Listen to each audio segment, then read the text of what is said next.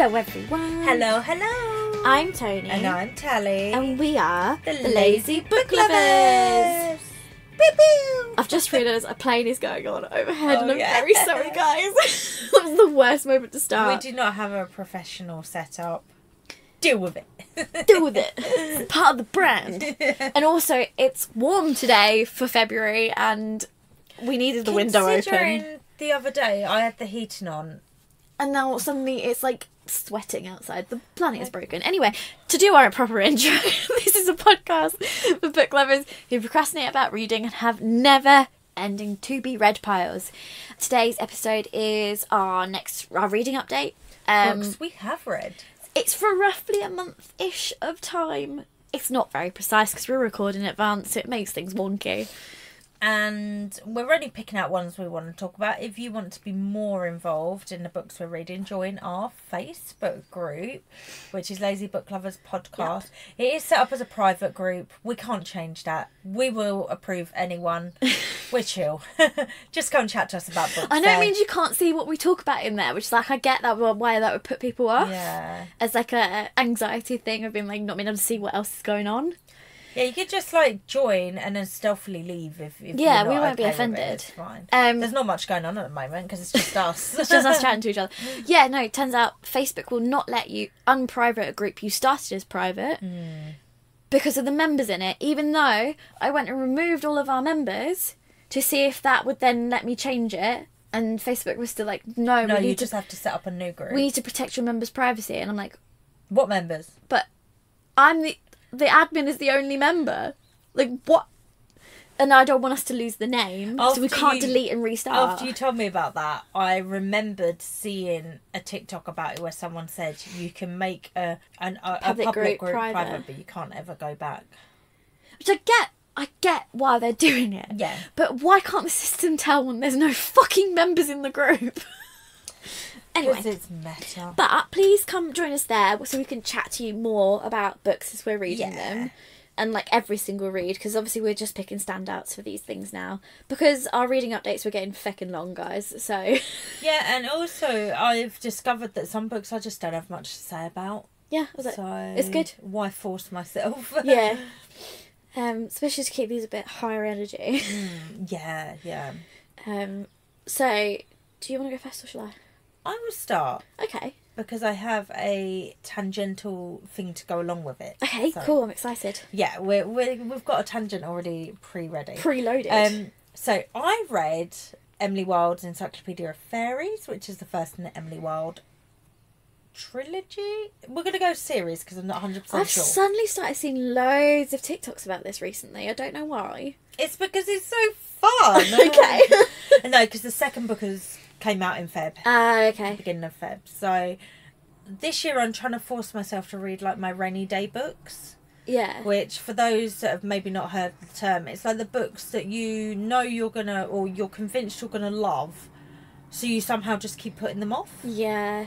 Or you want to give it like proper mental space. Yeah, So you're like, and oh wait, I I'm- need to wait till nothing stressful's happening to read this. Till I'm then like on holiday, and it's like And then me things on never get- holiday, not stressed. So I'm gonna hold on to it for thirty years, or yeah, you on holiday with two small children. That would Yeah. only work if we ever get to do our holiday abroad that we've talked about for like three and years. me, a millennial, being able to afford a holiday when I have dependents.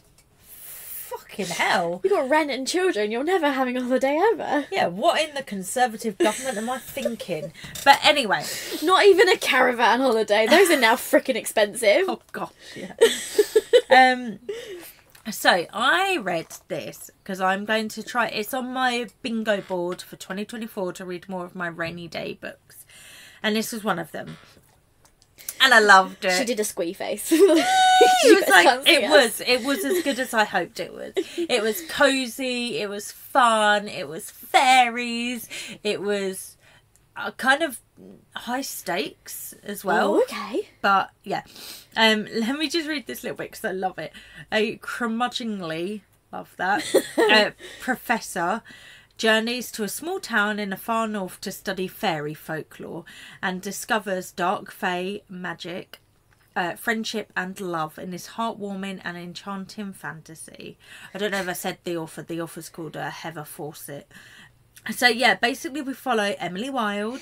She is an expert in fairies or what um so in this world Yeah. fairies are known to be real. Okay. It's kind of I don't think it I can't remember the date it's set in, but it's like I would say kind of Victorian esque times. Okay. I think it's it's set up as like diary entries, so I'm quite sure it says when it starts, what year, but I can't remember off the top of my head.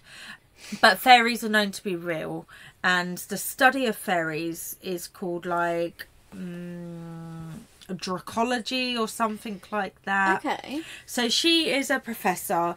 She uh, is a person who is known to be an expert in fairy Okay. and th- the fae. The fae. And she is, as it says, writing an encyclopedia.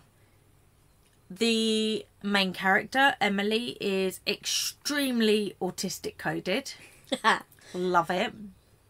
She finds a lot of comfort in the Fae because they follow uh, very easy guidelines in how they act, Their social structures are very clear. whereas humans do not give her that. Yeah. And humans have a lot of emotional stuff that she can't quite get right no matter how hard she tries. Yeah. So, yeah, she goes to this place which is kind of set in, I would say, like Norway or something like that. Okay. um, because the Fae there, the professors in London don't know much about. So she's gone there, and that's the last chapter she needs for her very, very involved encyclopedia to go and meet the uh, the Fae folk of this town. Yeah. Um, she has a academic rival called Wendell. Wendell Bambleby. That's a great name. Yeah, and uh, he is like effortlessly charming. He is able to get everyone around his finger, and she is of the opinion he is probably a fae, Oh. but he hides it well. But she has no, she she doesn't care enough to talk to anyone about it or to mention her Yeah. under her theory because it doesn't matter. yeah. So while she's there, he turns up, and he's got his uh, because he's he's like a rock star in the world of fae folk Yeah. in terms of being an expert in it. Not that anyone knows he is. Oh yeah, spoiler, he is obviously. and he turns up with his like he's got um some students that always come along and help Yeah. him. She thinks he like has other people do his work and he just takes Oh, okay. you know that kind of vibe yeah, Yeah, well, they he- got an undergrad to kind of yeah, do and it he gets away with it because he's charming. Yeah. Like, that's the vibe. Yeah, so he decides to turn up, and she's like, "What are you doing here?" And he's like, "Well, Emily, my dear, I listened to this on audio as well, which was great." Yeah. He's like, "Well, Emily, my dear, I'm here to help you, obviously," and he just kind of like pushes his way in, and she's like, "Oh, like I don't want you here. This is my encyclopedia," and he's like, "Well." I'm going to be presenting at this big uh, imposium or whatever, and Symposium. that's it. Yeah. Thank you. And if you let me help with your encyclopedia, you can be like a joint speaker with me. Ooh. And she's like, okay, well, I kind of have to fucking let you stay now, don't Yeah. I? And like, it's just really heartwarming. Like, she learns to get along with the townsfolk and makes friends. His students disappear quite quickly, and then it's just the two of them, and they become quite close. And she finds out that her theories were correct. I wouldn't say that's a spoiler because I think it's quite. She's at the beginning. She's like, he's definitely a fae. Yeah. And then she ends up getting caught up in so much shit that I never saw coming. It was so so good. Okay. I thought it was winding up, and I was like, this is so cute. It's all been Yeah. so like happy and heartfelt and yummy, yummy, yummy. And then I looked and I was like, there's still a lot of hours left on this Yeah. book. And then it went fucking shit down. went down. Yeah. Yeah. And she ended up in like Fey world, and she her life was in danger, and I was it was yeah. I just Okay. loved So it. one of those ones that deserves the hype then. I would say so. I know I've seen a lot of people that dislike it a lot, and their critiques, yeah, fair enough. I loved it. For me, mm. it was absolute five star. I would say it's probably more about character development than the plot, but the plot is fantastic in my opinion. And then You prefer character driven stories though. I do, yeah. Like I can have aimless plots as long as the characters are Yeah. gripping me. And a little tangent okay. to go along with this. So in the story there's a changeling child, Yeah. which in case you don't know anyone listening or in case you don't know, I assume you know the story of changeling. So there used to be a belief, I guess maybe some cultures still believe it, that uh, if your baby or child started acting weird, it was likely that they'd been kidnapped away and replaced with a fey child Yeah. known as a changeling. It's kind of like a cuckoo type thing. Yeah. Okay, so I saw a TikTok that had a very interesting theory. Obviously, TikTok, um, it was someone's theory on TikTok. I'm not saying This it's is not like- academic Yeah. or absolute. but someone who does who does content around neurodivergency was sharing these lists of that used to be given out. Yeah, no, I have to- seen this yeah, of like how to find out how to tell if your child is a changeling and they were all basically symptoms of a neurodivergent child specifically an autistic child it autism's really hard to spot until you're about two-ish? Hmm. because that's when if there is any developmental delays or any social well unless it's severe they won't even discuss it until your child's three years old. In So- the uk anyway. but it won't show up until you're about two like obviously. Yeah yeah. I mean i've seen i've seen tiktoks where people have done like things that my baby did that i now know were symptoms yeah and like how it manifests when they are like baby babies Yeah. as well and they're like now i know Well, it's the same with my son. Like, I look back and I'm like, there's so many things that were obviously ADHD, and I mentioned it as early as I could, but they would not touch it. they went to they went to school wasn't it Yeah. And then when I went to school, they were like, oh, you should have started this by now. And I'm like, look, the health visitors won't touch it. There's like this big issue in the UK of Yeah. this, but yeah. I think this. I think this is an issue in at least in Western. Yeah, but I mean, like specifically in the UK, because that's only where I have my experience. Yeah. Like, um, there's a there's about a year and a half gap when no one will touch it. Yeah. between schooling and like health visitors. Anyway, yeah, so things like stimming with hands is a changeling Yeah. um, symptom, uh, not maintaining eye contact, bad sleep schedule. I can't remember what else was there, but they were like the three main ones I you, you do hear people saying, "Oh, my child was completely normal until they were like two or three. Is that were they though? Yeah. But yeah, so these are like these are Normal. real. I don't like that term. Sorry, I'm just Yeah, quoting. yeah. I don't believe that term. I want to be clear. But like, yeah, so these real things that people in our history said were evidence of changeling children, now we would say is evidence of neurodivergency. And I think that's crazy. Yeah. Because not only does that possibly 100% uh, prove that this isn't a newfangled thing No. like people like to say, but that also is quite scary because changeling children were not treated well and they would have been physically emotionally abused i think it was quite similar to like witch trials and. Yeah. stuff um and that's really disgusting Yeah. but also um in the history of the world i don't think any culture really has a good history with treating anyone that has mental illness or a disability so Indigenous cultures Yeah. definitely deal with it better, but Westernized ones, especially Christian ones, Hmm. not to use broad strokes, but like even do you know right down to like having three meals a day is because of the church. oh the church can just fuck off That was something they introduced. It's around a prayer, yeah a daily prayer cycle. so much shit that everything that is wrong with capitalism Even right is down to, religious to being told we have to eat three meals a day. That is a Yeah. Christian thing. and then people who like to graze rant too much. Yeah. people who like to graze like me We're are seen as eating wrong no i'm not Slovenly. yeah Oh yeah, I mean, I don't believe that lazy is a real thing. I actually discussed this with someone. and They were like, "Yes, mm. it is." Blah, blah, blah. And I'm like, "No, you can fuck off with your laziness." Yeah, I don't think anyone's. If someone's being lazy, something else is going on.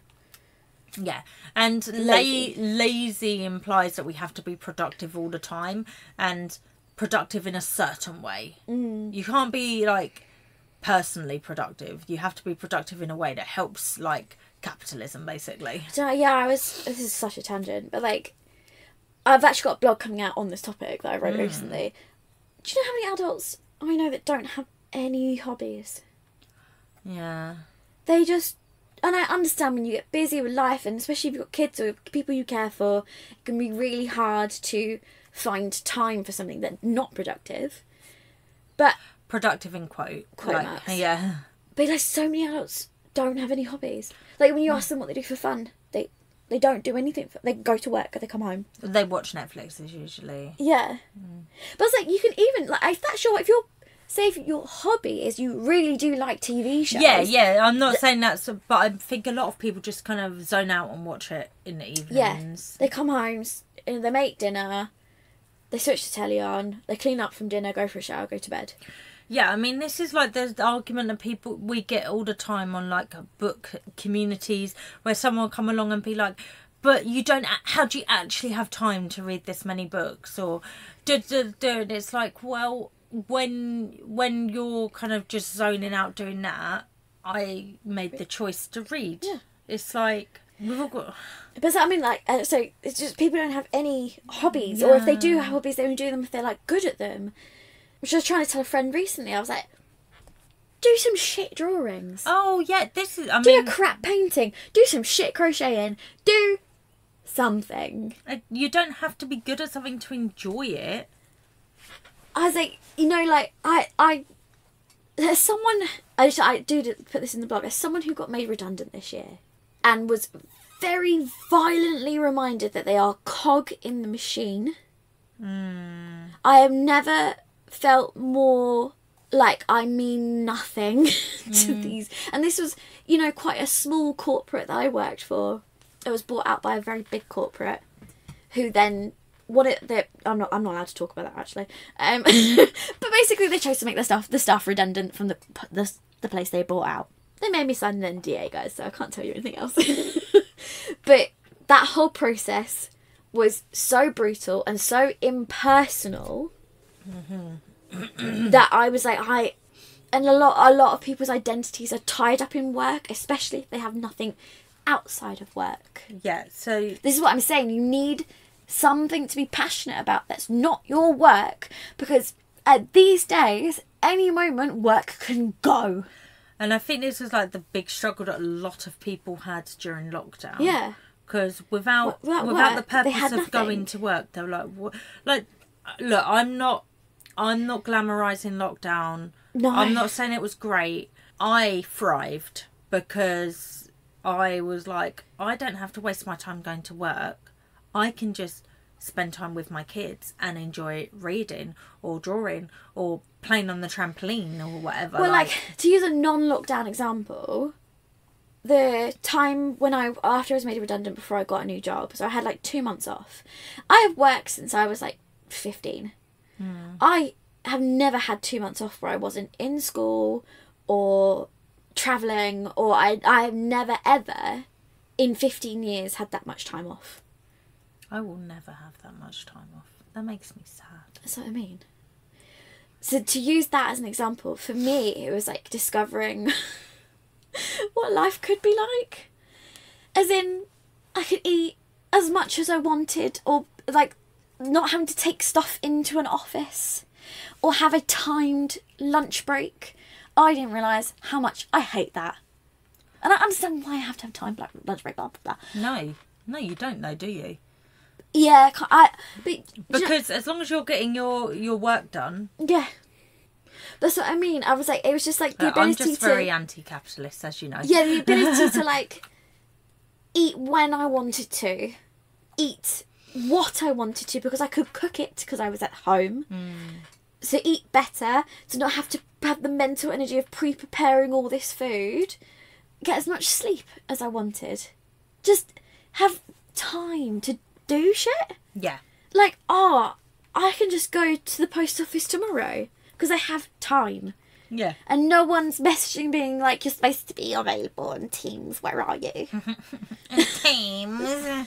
Because my entire job is to just watch how long you're unavailable on Teams for. yeah, or like, I don't know, go swimming at 1pm because the pool is not then full of children and adults.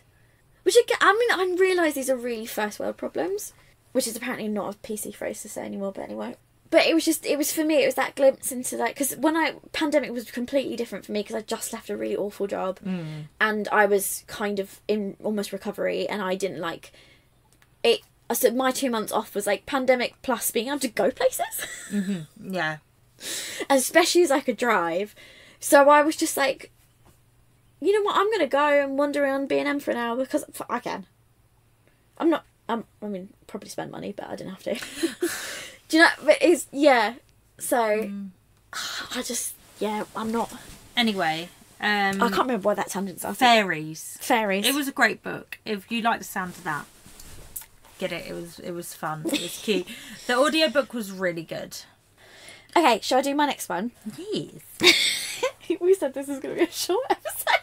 Well, Oops. I started talking about capitalism. That was my. And we always. Oh, actually, we haven't done a rant in ages. Yes, that was my bad. Just, Um, it's fine. Okay, so I finally read A Soul to Keep, the first book in the Duskwalker Brides series. I've not so- read it yet.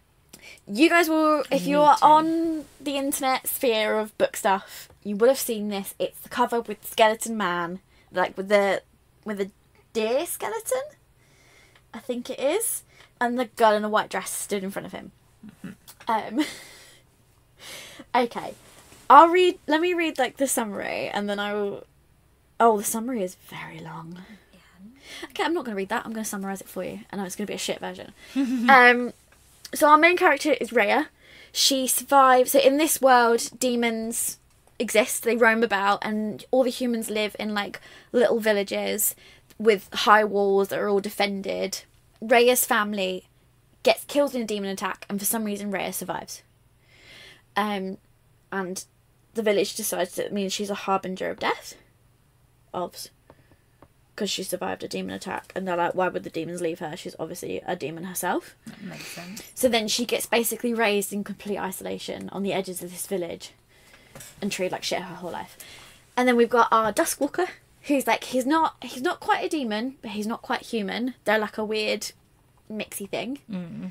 And he has a deal with certain s- villages that he offers them a protection circle in exchange for one human every 10 years. Okay. Now he says they must be pure. They've taken that to mean virgin brides. Of course. He meant How Christian. free of disease.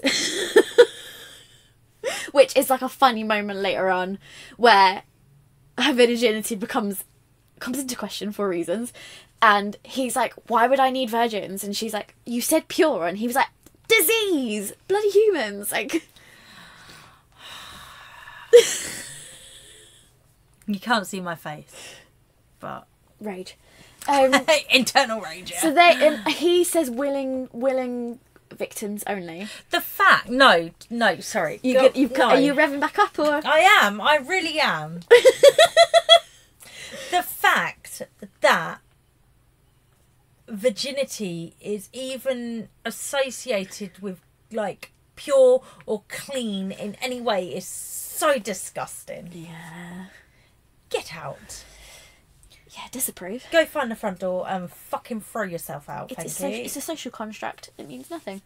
yeah. If we've got any younger listeners, it's it's not you know Virgi- virginity isn't a real thing. no. So Sorry, anyway, proceed. so they're supposed to be willing sacrifices. They're Okay. supposed to give themselves up to like to protect the village. It's like it's supposed to be like oh, I'll step up and do it. It's like a noble thing. I But- volunteer as tribute. Yeah, mm-hmm. but the village this time are like, hey, we want you, the harbinger, harbinger of death, out. You're finally old enough to sacrifice to the Duskwalker. So your your options are dungeon slash death or Duskwalker. They're like, so you're willing, in a sense. As in, you have very little options. Yeah, they still present him some alternatives that are like other sacrifices that are just who want to be there. But for him, so basically, he is his part demon part reacts to the smell of fear, which is what makes him go feral and like eat them. Mm. Um, so he ends up choosing Rhea just because she's not afraid. She's just pissed off. I like her. When she gets sacrificed, she's just fucking angry. She's like, I'm not even scared of the weird skull fucker. Like, I'm just I'm furious. furious, and I'm gonna ex- Female rage. I'm gonna escape him the second I can. Oh, I like her. And then she's like, okay, I have to follow him for a while because like if I if he leaves me here, so basically outside these walled cities, you are demon food. So she's like, I have to stay with him to like survive. Like they end up getting junk- jumped by a group of demon hunters that know that the Duskwalker comes every ten years, so they've set a trap for him. And he's like, they do this every year, and every year, every ten years, I kill them. it's and- not a surprise, But guys. because he goes into like a blood rage, he ends up killing his sacrifices because of that, and he doesn't want to. Hmm. He basically, it's really. It, what does he want his sacrifices for? Would that be a spoiler? He wants a friend. Oh no! So the Duskwalkers. I hate that. yeah, so the Duskwalkers are kind of these entities that they get. So they have different animal parts and bits of humanity, and it's basically to do with what they've eaten. Hmm. So they start out with like no humanity, and the more humans they eat, the more human they become. So they get to a point where they don't want to eat people anymore. And they also start to understand the concept of loneliness. Once they get a certain amount of humanity, they start to get lonely. So he made this deal back in this has been going on hundreds of years. He made this deal because he was trying to find a friend. Oh, and there's this sort of I hate it. I know it's so sad. This is what I mean because my partner when I was reading this, he was like, "You monster smart girlies." I was like, "No, you don't get it." You do not understand. um, so there's an entity. So they they all live in the ve- the demons live in the Vale, which is like this stretch of land that's like demon land, and then they venture out to eat people. There's an entity in the Vale called the um, Owl Witch. The Owl Witch basically told him he needs to find someone who's willing to tie themselves to him to give him their soul. And then he was like, "Okay, I'm gonna start getting humans to get to get a bride." It is, but then he ends up getting betrayed by someone he thought would be the one who stayed with him for five years. He ends up he builds he built her a house. He built all sorts of stuff. I think grows a garden for her to feed her. He's got a little sexy purple penis. Yeah, he does. We'll get to the And she penis. didn't even care. We'll get to the penis. oh, like I know that much. I've got artwork yeah, yeah. with the penis. Um, so he give he's basically given up on finding like a bride, and he ends up just I just want a friend. So then that's why he starts taking male sacrifices as well as female. He's like I just want a I just want a friend. I just want a buddy, mate. I just want a buddy. And he keeps they either escape and die, or they do something that makes sets off his like his instincts and ends up making him kill them. Like they do something that makes him angry, or they run, and that any- anything that it basically starts his prey drive.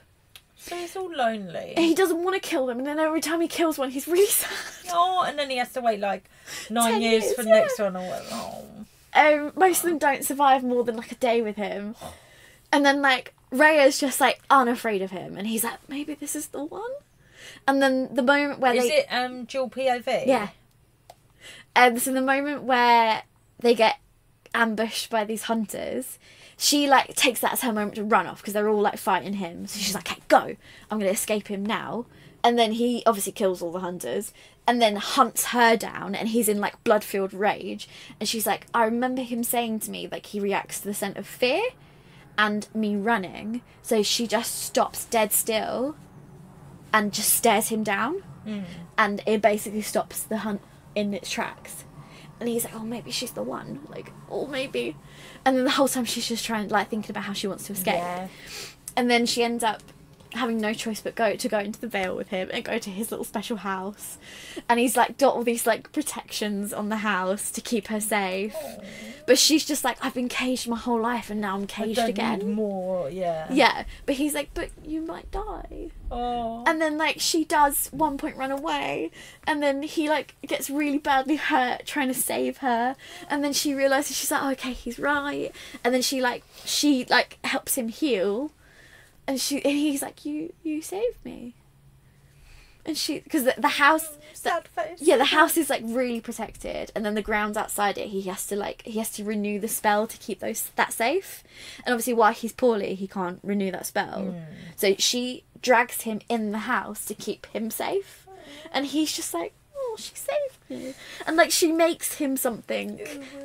yeah, she like makes him something just because like she's bored, and she's like, "Do you want me to make you like a bracelet?" And then he's like so proud of it, and That is so cute. it's just he's I bear in mind. Okay, this is he's got a skull face, he's got a wolf body, he's got fins on his arms, he's got protruding like ribs. He's like a monster. sounds sexy to me. His penis is like corkscrew purple, and it's got tentacles Yeah. and it also can like disappear inside him. When I heard there was tentacles, I was like, sold. I was like, okay, This is another rainy day book for me, by the way. I'm waiting for the perfect moment for this book. But I thought it was just going to be pure smut. No, there's like this whole backstory to the Duskwalkers and what a mystery of like their I need- origin. I need this now then. and like the origin of them, and you start to find out towards the end. You find out the origin of the Duskwalkers and where they came from, Hmm. and all this. And then so then we get introduced to a second Duskwalker who isn't as old as Orpheus R one in this book, yeah. and he doesn't have a name yet because no one ever named him, and he just wants to be named.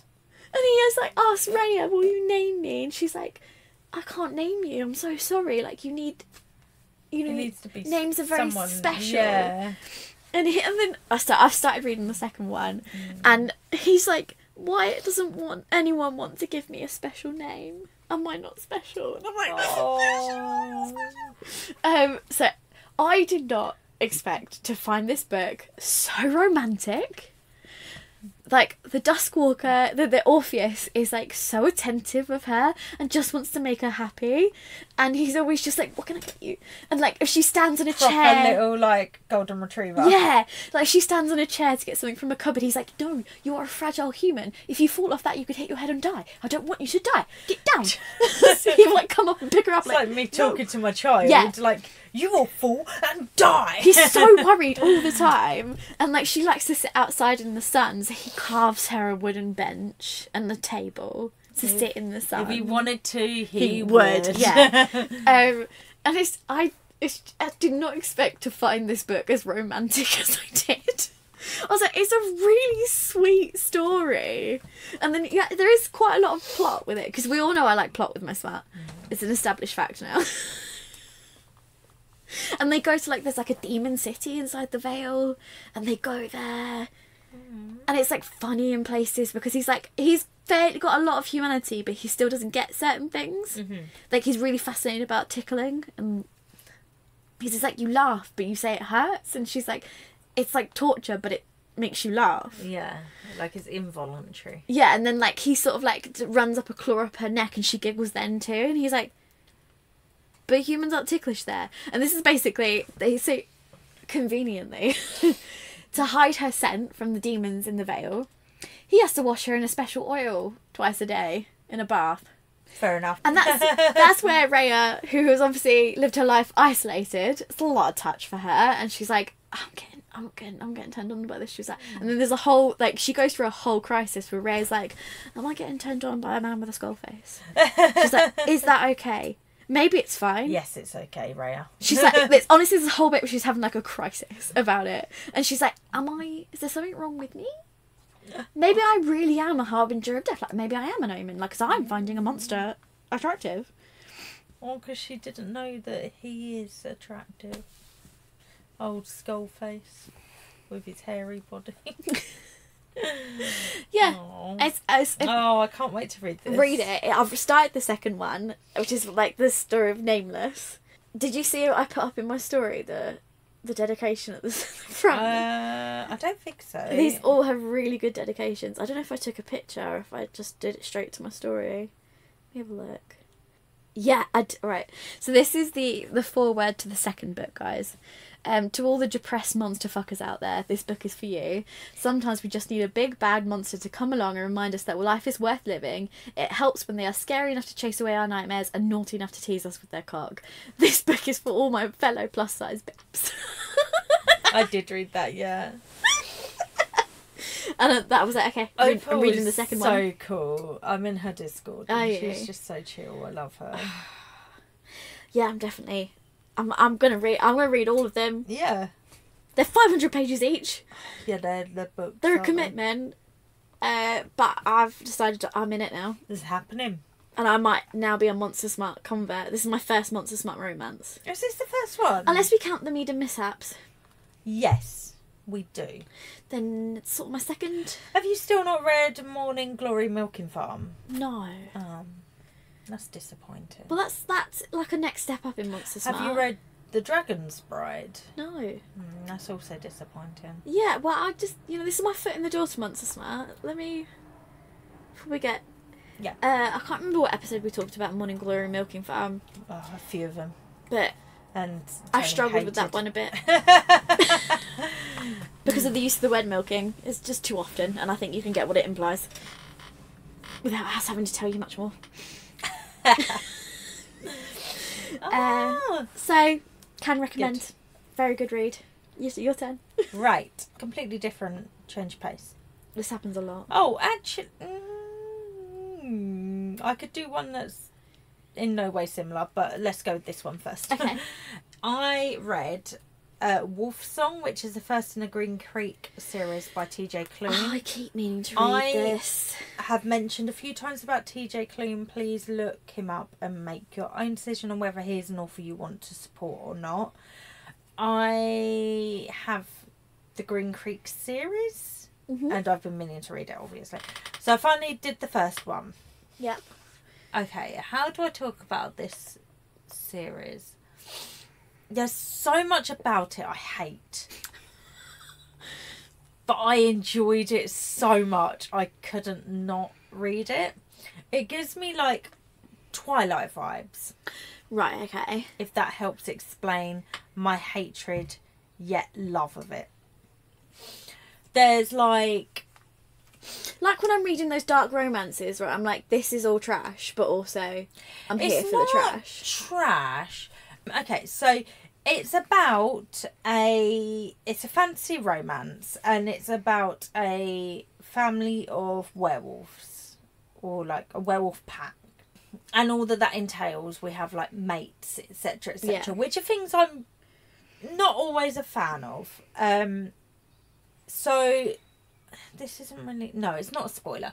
Okay, so we've got our main character Ox, and he has a he has like no one in his life really. Mm-hmm. Like he is at the beginning of the book, he is. Uh, I think he's younger, but like the main part of the story starts. He is it's his sixteenth birthday, right? His dad left when he was nine and was basically said to him, "No one will love you" or something like that. So he's always had this issue that no one cares for him. Yeah. Um, he lives with just his mum. He has no friends at school. He's bullied a lot by school. I was going to say friends, but they're not friends.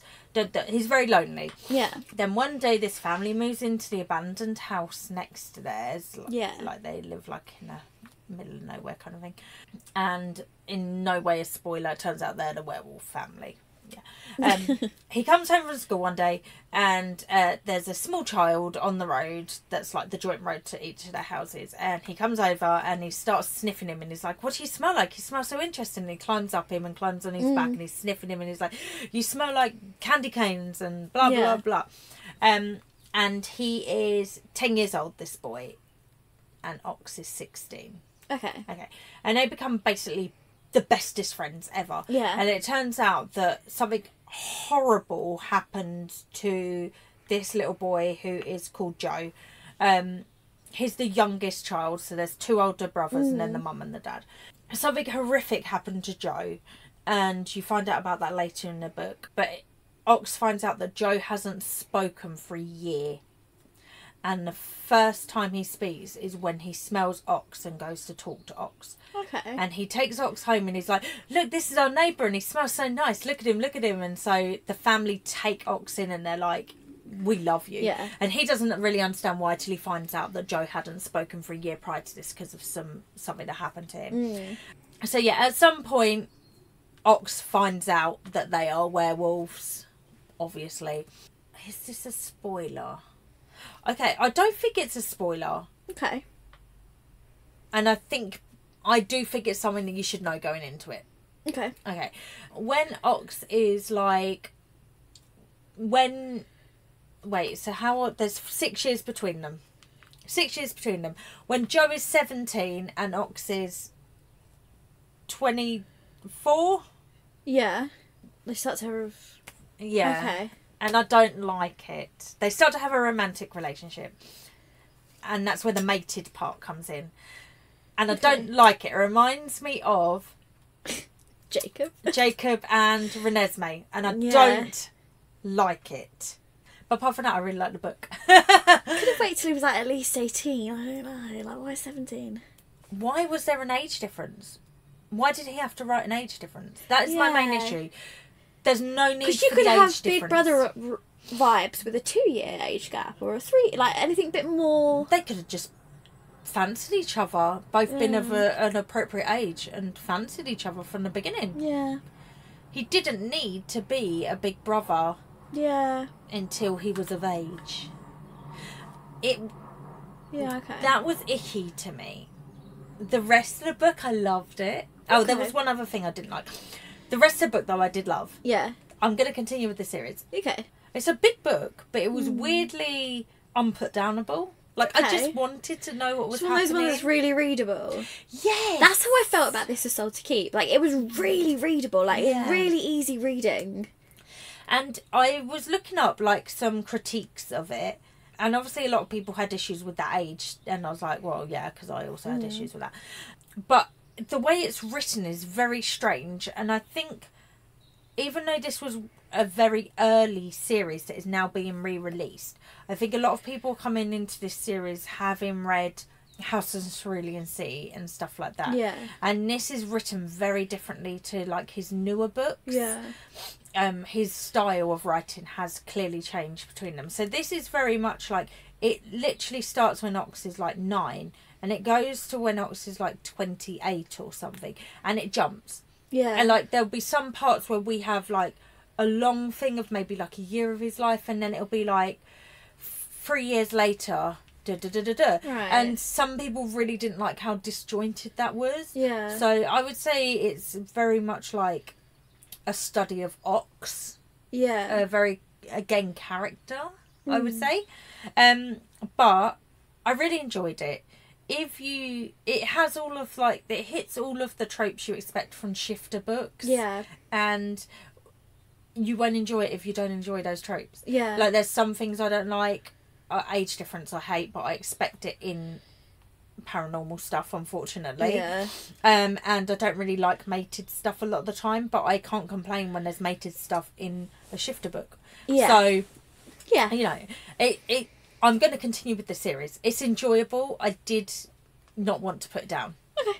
Um, and so the second book, they each book follows a different character from the pack as well, which I think is quite cool.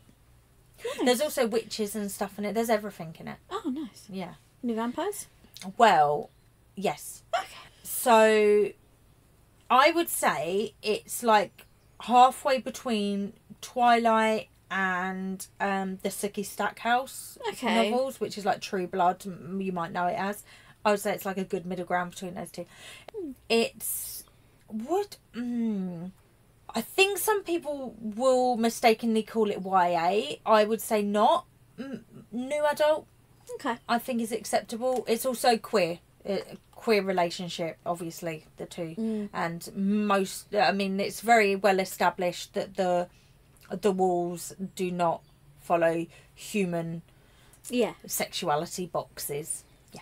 Okay. So yeah, I enjoyed it. Interesting. It. I think. I tell you what. I've just made an, a connection. I think the reason the age difference in the relationship bothered me so much, whereas it bothered me more than in something like Twilight, even though there's not Twilight is like hundreds of years. I think the reason it bothered me is because they are a gay couple. And the only reason I say that is because gay men are always accused of grooming. Mm. So it's playing into a And I, harmful I think that's stereotype. I think that might be what and I've just made that connection. I think that's why I didn't like it. So it's playing into a stereotype that's harmful. Because that is Yeah. like you know, when people want to ban gay books, they're like because it grooms children. Like people associate queerness with grooming. Yeah. and I feel like maybe that doesn't help that they that they Yeah. were a gay couple and it feels like grooming, even though it's not. Well, especially to go from like, oh, I'm a big brother vibe to relationship. Yeah, that is Vibe. like literally grooming. Yeah. But Okay. yeah, it, it was really really fun. I it was enjoyable to be honest. Okay.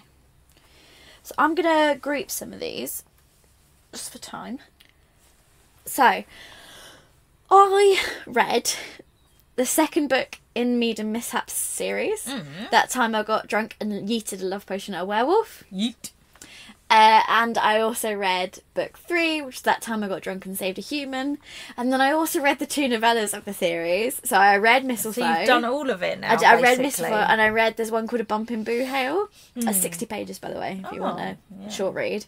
Then that one is set between two and three, so potentially spoilers if you haven't read two yet. Um, For my birthday, I got given a copy of. so I only have a physical copy of the first one. I've been reading the I rest. got a copy of the yeeted one, which is the second one. Yeah, Yeah. they're all on um, Kindle KU, Unlimited. yeah. Yeah. so I want to. I want to own them all though because they look so so good. pretty. Oh, I, I know, but obviously I'm not going to get the new covers. Won't match the original cover I've got the first one because I've got the one. Do you remember I bought it when we were at the signing? Yeah. I've got that cover. No, that is the covers now. I thought the new ones were those cartoon ones. The cartoon ones were the original ones. Oh, okay. That's the traditionally published covers, and the, the cartoon Oh. ones were the indie covers. Oh, so they're on um, Kindle. They're still the cartoon covers. Yeah. which is why I thought. Yeah, it was the other still, way around. It's still the indie covers on. Oh. So if you buy any, they will match your one. Oh, okay. Yeah. Interesting. I'm like, I don't know whether to buy. Like, will I reread them? But they're really pretty, and I've really enjoyed them. So I'm a bit like. Uh, so, book two follows a character we meet in book one, so I can't talk about it too much without spoilers. Um, and it's also uh, Cinnamon, our main character for book one. It's her best friend Brie. Mm. So it's Brie, and then the guy is a character we meet through Cinnamon's adventures. Um, Okay. It's the werewolf dude. Yeah, yeah, yeah. Um, whose name is escaping me? Fal- no, not Fallon's the dragon. Anyway, it doesn't matter um yeah so like all the shit that goes down with cinnamon in the first book they free the demons Mm. which is like the whole quest of the first book so i don't believe that's a spoiler. And so then the demon some demons arrive back when cinnamon and fallon come back. They bring some other demons with them including this werewolf guy. This werewolf guy sees brie and he's like you you're my fated mate. And then at the same time, a creep from the village who's been trying to hit on Brie has spiked her drink with a love potion, Oh. and she, the werewolf, like they, I don't know if I can't remember. Someone smells it and is like, "That's a love potion." She's like, "How fucking dare you!" So she goes to like throw the drink over the creep. He ducks. It hits the werewolf guy, Oh no. um, and then he oh no. and then she doesn't believe that she's his fated mate. She's like, it's just the love potion, dude. Yeah, but he's like- because you got hit by that love. He's like, I, I'm not. I can tell the difference. There's fated mateness, and then there's like the love potion. They're, t- they're making me two, think two different thoughts. And she's like, I don't believe you, but okay. Yeah. And she's like, has her own farm. She's happy on her own. She's got her. She likes to read Monster Smut as well. the uh, main, the female characters in these books are always like. They're well established, you know. They can look after themselves. Yeah. They've got things The going w- on. women of Boo have got interest, industry. they they're- don't need the men. They're fully fleshed characters. Yeah. Yeah. And they're always like plus size women of colour as well. Yeah, they're always like queens. yeah. Um so he he's like, I need to move in your house and she's like, No, it's my house. no, thank you. Um and then at the same time as this is happening, there's a creature hunting women in the village that are single. And so like the the werewolf guy is pure like golden retriever energy. So he's like, you know what I'm gonna do? I am gonna go register as, as married down at the town hall. And she's like, How did you do that without me there to sign? He was like, I threatened the guy. She's like, but now you're safe from being kidnapped. And she's like, but you've you've married us. And he's like, well, obvs, you're Now my wife. Safe. Now you're my, you know, you were, You're welcome. you are wife. And he like carves a nameplate that's his surname, puts it outside, and she's like, what the fuck are you doing? Um, and then she's also, she's like, That's also, funny. she's been reading werewolf smut books for years. So she's also like Loki though. but Also. And then the love potion part of it is like driving into insanity, and he's like, "I'm actually gonna go insane unless we fuck," and she's like, "Oh well, I guess I'll have to fuck the handsome werewolf. What, a, shame. shame. and then as they get closer, she's like, "Oh, I kind of like him, and if this is all because of a love potion, I'll be gonna be really Uh, That's sad." very disappointing. And then obviously the whole there's a the the main plot is about the women being kidnapped and what happens with that. And then book three is another character we meet from book one. He goes off to find his fated mate. Uh, he finds her at the first place he stops. That's quite convenient. Yeah. Um, That time I got drunk and saved a human. Yeah, I like that this one was saved a human and So- like this is basically, and I'm not going to say the name of the character because it's I feel like that is spoilers, but the fated mate that he meets is has been trapped in a tower by a dragon for five years. Um, and then she gets rescued. So she like she sees this other dragon come. She's like, I'm gonna drug him, and then I'm gonna convince him to save me.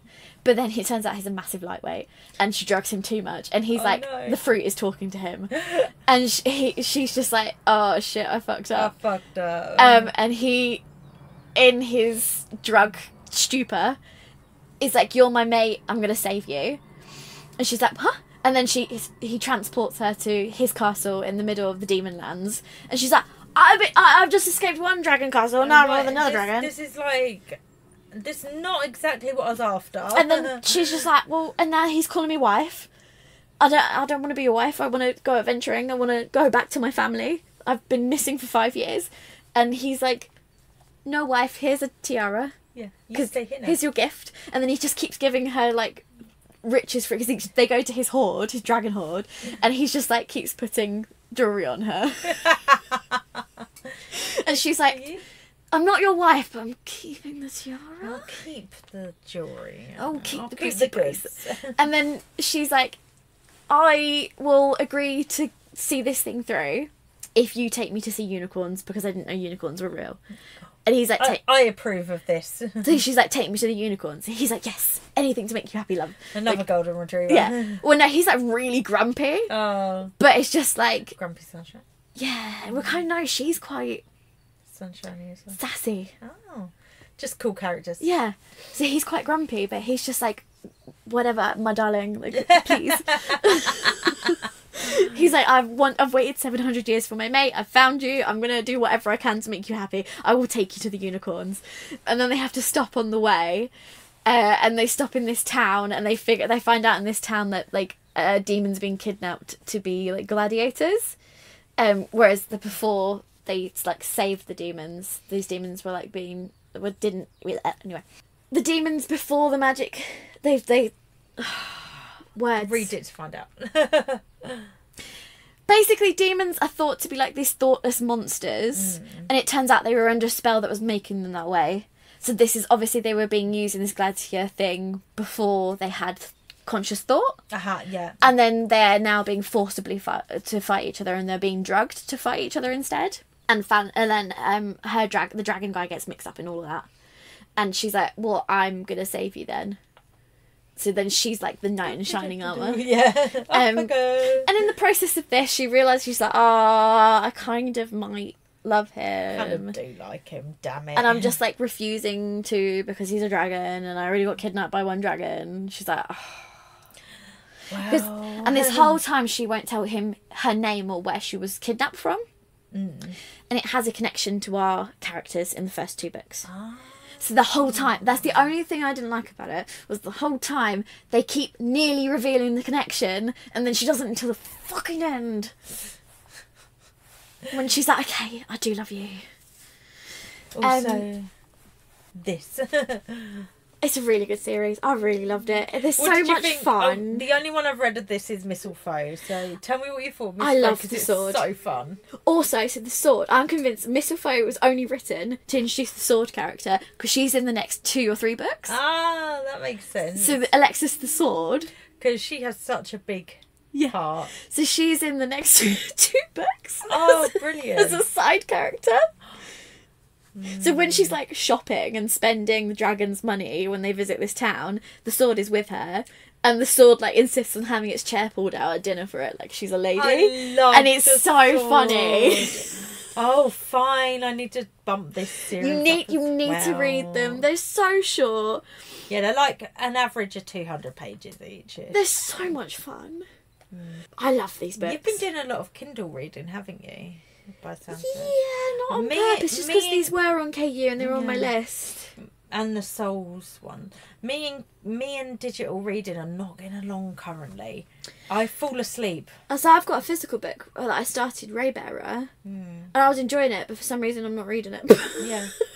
I just I've been doing audio and physical, but like digital books, I just I I sit down with them and I fall asleep.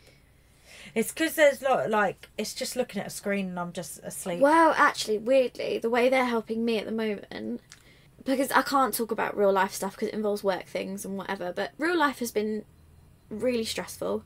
Mm. I'm starting a new job, and that's enough, I think, for you to know if you've been paying attention.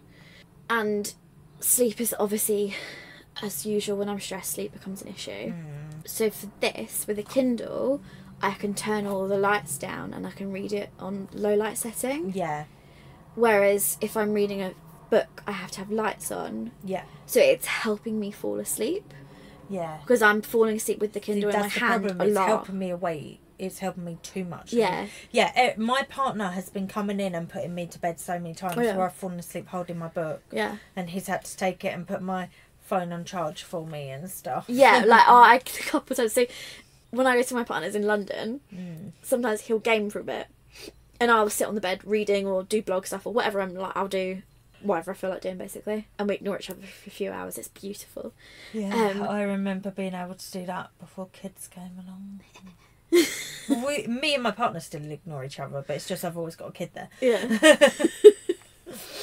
um, and I keep, and so I'll be on the bed and I'll get more and more slumped. Yeah, And he's like, "You're gonna fall asleep," and I'm like, "No, I'm just getting cozy." yeah. We used to always do that. Like kids play games, and I would uh, read my book. Honestly, ga- gamers and readers meant Perfect. Yeah. perfect dating relationship. Yeah, or, or and then eventually, in in his room, he set up an extra TV so I could do my games. set up a TV so I could. But yeah, Yeah, because you know that whole. Sometimes people are like, "Oh, I'm only gonna play one more game," and I'm like, "You're fine, keep playing." I'm good over here. I, I'm gonna do a few more chapters. It's all good here. Yeah, you're good. I'm not annoyed. Oh yeah, okay. I need to bump this series up, is what I'm hearing. See, also this like because the the Soul to Keep and then this this series were like the happy, easygoing, easy reading, cute romances. Yeah, That's just what I needed. Well, I've been quite stressed. I'm trying to prioritize my physical books, and both of these series I have one physically, so that can mm. be my excuse to do it. yeah. I last month, so I'm trying to track how many books I have incoming and outgoing, and track like I want to try and Yeah. read my physical books because I have. I, I can't remember. I added it all up, and I have far too many I've not read. And last month I picked out 48 books that I'm going to get rid of, which is quite a lot, I think. What read and then get rid of, or just get rid of? No, get rid of. I was like, do you know what? Most of them I haven't even read, but I've just thought I've had them so long, Yeah. I've kind of lost interest in them now. So I'm just like, gonna get you bought them because they were in like in a moment, and then yeah, the moment passed, and you're Well- like, actually, do I want to read this? a lot of them are contemporary YA, and I've noticed I just don't gravitate to that anymore. So Mm. Uh, they can go to someone who will enjoy them. Right. So I'm just gonna I'm I'm just gonna talk about one more book actually. I read this for a 24 hour readathon I took part in last weekend. Yeah. Because apparently I have time to do that. I read three books, so apparently I, I don't fucking know how my brain works. In anyway, between your ten thousand jobs, the children, feeding yourself, feeding them, bathing them, you somehow read three books. but I No more questions. But I can't put out one Instagram post. anyway, so this was a buddy read for the readathon. Yeah. and it it was a horror themed readathon, so it's a horror book. And this one was called The Haar by David Sodergren. And uh, this fucking book. this fucking book. Right. I'm even now, I loved it. Okay, just just to be clear, I loved it. It's 4.5 4.75. I don't know. It, Yeah. It's almost 5 stars. But damned if I don't fucking know what was going on at any point. right. And it was not at all what I thought it was going to be going into it. right? Okay. I'm just going to show you the image for starters. Oh, So creepy. The the cover shows like an inside out almost person with one big eyeball in the middle, right? I was like, okay, this is going to be a really interesting horror. It's a body horror. You really like body horror. I do I, enjoy can't. body I can't horror, do yeah. And let me read you what it's about. I didn't read what it was about before I went in because I don't generally do that. Um, Muriel has lived in a Scottish. Oh yes, it's set in Scotland, and the Haar. The Haar is it's this fog that specifically comes across in like the northwest of Scotland or something. It's a particular fog that Oh. they only get in one part of Scotland. right? Okay. Um, so Muriel has lived in a Scottish fishing village of Witchhaven all her life. She was born there and she intends to die there. But when an overseas property developer threatens to evict the residents from their homes and raze Witchhaven to the ground in the name of progress, all seems lost until the day a mysterious fog bank creeps inland. The Haar. To some it brings redemption, to others it brings only madness and death. What macabre secrets lie within the Haar? Romantic and deranged, the Haar is a gore soaked folk horror fairy tale. And that is correct. so, yeah, she. There's this very small fishing village. Some rich American man who may or may not be uh, slightly Donald Trump esque um, is buying up his.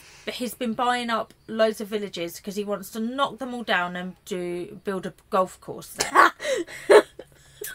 and her particular village, there's like eight of them left holding out, and then it goes down to like five left holding out because he is offering a lot of money to knock their houses down, and um, her and her nearest neighbour, which in this kind of area are not particularly near, uh, have both like were both born in the area and they they have no reason Yeah. to leave. Like she, her husband has recently died, well, like within the last couple of years. Her son is now married and has a child of his own. He's busy. He never visits. Like Yeah. and she's like, "What? This is my home. I refuse to leave." And Yeah. it's quite a pride thing at this point as well. She's like, "Fuck you and your stupid American golf course." Yeah. Like, duh, duh, duh. So she's just refusing to that. She's like, "I will happily die here. Yeah. I have nothing." Going for me, Make me like the house from up. Build around me. yeah. And she's like, you know, and she was so in love with her husband and she's still grieving that. This book is about grief. Mm. And she's grieving the loss of her husband still and da da da. And fucking hell. So there's like, I just, there's a lot of, she is in her 80s, maybe 90s Okay. and like thugs are sent to attack her. There's a lot of like elderly abuse and things. Yeah, Thugs, do you mean? thugs. Yeah. Sorry. I thought because you said thugs and I was like, fog? Oh, um, I can't say the difference. Are sent to like attack her, attack her neighbour. He gets killed, and it's all very graphic. And because they're old, it's horrible to listen to as well. So that's gross. And then one day she goes for a walk and she finds like this jellyfish type thing that has one big fat eye on it. Yeah. And it feeds on blood. And then it decides to help her out. I'll just leave it at that. Okay. It's fucking crazy. It's really gory. It's really good. Okay. and it's so incredibly emotional. I mean, it's not one I'm ever going to read, but No. it does sound very, It's- very you. It's for a start. So much grief in it. I was just like, I cannot. But yeah, I know um in the Buddy Read Discord a lot of people had to stop reading because of the like elderly abuse. It was just too much, which is understandable. It's not Mm. nice to read. It's not nice to read abuse of anyone, but like I don't know. hearing about an old person getting beaten up is a bit gross. Yeah. I think. I think most people can't help but picture their older relatives in Yeah, that scenario. yeah. That's definitely what I'd be thinking. yeah. Yeah, so it's so fucked up. It was really good. I'm gonna try it more by the author. Okay. I so I'll do my last one, just a quick one. I won't talk too in depth about it. So I have I read a few, I listened to a few of these in the series f- months ago. Mm-hmm. So this was two necromancers, a dragon, and a vampire. The Unconventional Heroes series, book three. This is. So I've, I listened to book one and two. It was like a combi book. Do you, Ages did ago. you have to get this with a credit? Because I know Yeah. the first was in the library. Wasn't Yeah. It? So this is obviously this was with a credit. Um, is this is by LG Estrella. The concept of this is there's a council of like rulers who are offering pardons to like villains, and one of, a necromancer named Timmy. I've just suddenly remembered. Yeah. Yeah. the necromancer named Timmy is like he knows stati- statistics about the lifespan of necromancers, and he's like, I want to get out of the game. So he's like, he he decides to go for one of these pardons, and to get one, you have to like do like you have to work for the council for a certain amount of time, and they and then the books are just about like the things the council sends them on to do. And along the way, they pick pick up a pyromaniac elf. There's a bureaucrat which has come from the council to basically watch them. Gerald and poor Gerald Gerald. really goes through it. He has an apprentice called Katie who like sews pink outfits for the zombies. And she has pink glasses and she's really short and really angry about the fact she's so short, but she's like 10. Oh my god. Um, Stop. And like Timmy, because you work for a master that you apprentice under, and Timmy's master was like a horrific person. And so he's committed to changing the cycle for Katie. So then he does all these things to train her, and then she's like, "You're horrible," and he's like, "Well, my master did this to me, so like you're fine." Well. like to train her shadows, he does throw her out of a tower, but he has something to catch her. Okay.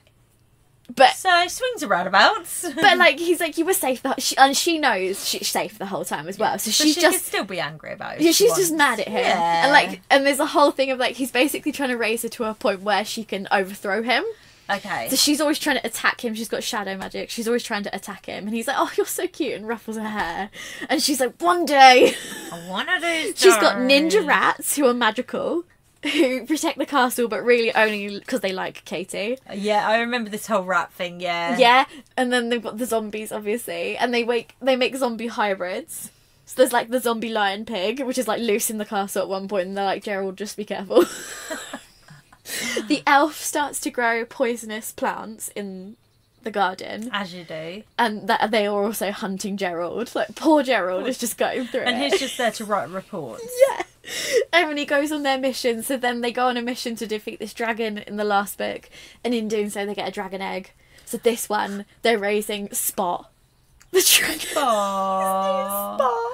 This makes me feel like, um, you know, like the Addams family. Yeah. They're just a crazy family, just in the midst of something normal, kind of thing. And then so they get like they go on a mission where they rescue an ancient vampire. So then the vampire's like, "Cool, I'm just gonna chill in the castle now." And Timmy's like, "Sure." This is so like found family. Yeah, and then they go. Then she goes on a mission with them, and it's like a really big mission. Oh, this sounds really fun. I, I have got that in my library. I need to do the first one at least. It's it's oh, it's so funny. And then like so they're like shopping, and Kate keeps asking him to like buy her bu- uh, him to buy her books, and he's like, "I give you a stipend, use your money." She's like, "Well, I'm a bit low," and he's like, "Why?" She's like, "Well, so one of my contacts found a giant shark." Um, I thought I'd make a really cool zombie, and then they're both like really pleased and really excited about the giant shark and what they're gonna do, what kind of zombie they're gonna make with the giant shark, and they're both like doing evil cackles, but her evil cackle is like a ten-year-old evil cackle. And the elf, so the elf is like the dragon's mother because when dragons first hatch, they like Oh, they imprint. spew fire, Oh, okay. and then whoever survives the fire, they're like, ah, must be mother. Yeah. And she's because she's a pyromaniac elf, she survives the fire, so he's like mother, obviously. Makes sense. Yeah. And then she's just like, at the first, she just wanted a dragon to defeat her enemies with.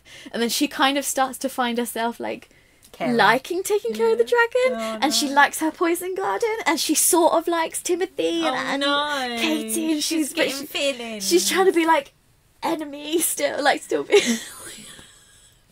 like I really like my life here, but also yeah, and she like Gerald. They she calls Gerald and Timothy the idiot. They but they're both called Idiot Collective, like both of them. Yeah. She and she calls Katie the twerp, and then Gerald helps save Spot. So then Gerald gets upgraded to paper pusher, and then Timothy's really annoyed he's still idiot. Oh my god, I love that. oh, my, they're such good, silly fun. I really wish like more of them were free, so I could read them, f- get through them faster. They they like give me that Waldo Rabbit vibes. Yeah, Waldo Rabbit, like very Terry Pratchett Pratchett esque Hmm. fantasy humour. They're really funny. That sounds fun. Yeah, Just It's- just good times. It's been a really fun audio. I've listened to most of it while I've so I've had like a little two week break between jobs. and I've been listening to it whilst playing Sims. so and you've been living your best life. I've been having a great couple Yeah. weeks. uh, so can recommend. I'm definitely gonna read more of them. Uh, they are on Kindle Unlimited, so I don't want to read, read or back. I really like You're the enjoying audio. the audio. Are they one of those ones that you get the audio for free with the Kindle Unlimited? Oh, I don't know. Because they do that with a lot of books. Oh, I need to look into that, don't I? What's it called? Uh, the series is The Unconventional Heroes by yeah L.G. Estrella. Unconventional heroes. So you would be on book Four. four. Okay, let me have a look. I mean, there's lots of novellas as well, and they all need a credit. Mm, to listen to. Because that'd be too helpful. Book four. No, yeah, you do need to spend a credit on it. That's Mm. me. Although they're Audible exclusive, so I'm not shocked really. Oh, have you seen? This is an entire tangent. Have you seen that's what Spotify have done fucked up? Oh, they changed their terms of service, so now Trying they're to- allowed to reproduce your work any way they want once Yeah. you've uploaded it. Yeah, As a like you- they can make their own original stories based on your intellectual so property. if you put something up on their audiobook bit on Spotify now, they have changed their terms of service so that they can take your the right take your work, your intellectual property, and they can make sequels, they can make They can spin-offs, they they, can do whatever it, they want yeah. with it. um, they could probably even sell those rights to a TV show. I wouldn't be surprised. if So they they've had obviously a lot of backlash and a lot of people coming back off. Like it was a people saw it as a but they marketed themselves as a great alternative to Audible, which really fuck over the indie Yeah. author. And yeah, and then this happened and people actually read the terms and were like, no. So everyone's fucking left. Sorry, I I'm really s- sweary. I Everyone's feel left. really sorry for anyone who was like just signed them not reading it because that's what you do, and they're like, "We've updated our terms of service." You do just go right, yeah, fine. Yeah. And I feel really bad for anyone who has signed it and didn't read it. So now they what are do they do? Well, now they they've claimed that the wording has misrepresented it, but it's more like they've been they've been caught being dicks. So they're redoing their terms. Oh, okay. But yeah, I feel awful for indie authors because like audiobooks cost so much money, and every platform where they can put them up are trying to screw them over. Yeah. It costs thousands Like, to get an e- audiobook done. Even if you like janky record it yourself, mm. there's still the time and the production energy, and like you probably have to pay to get it on there. And Yeah. I saw someone who's an indie author and she said that with her audiobooks, she wants to do an audiobook for all of her books like for accessibility reasons. yeah, And if she added if she adds up all the amount she spent on her audiobooks, it's the same amount she spent on her house.